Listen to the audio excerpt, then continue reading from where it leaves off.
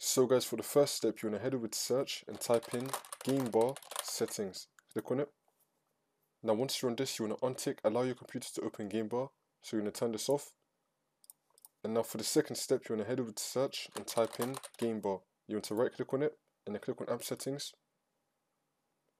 And now once you're on this, you want to scroll down and then you want to click on terminate and then click on repair. Wait for this to load. And then click on reset and then click on reset again. Wait for this to load again.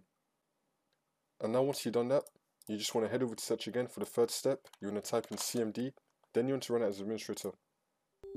And then click on yes. And then once you're on this, you want to type in sfc space forward slash scan now and then click on enter. Then you want to run this scan.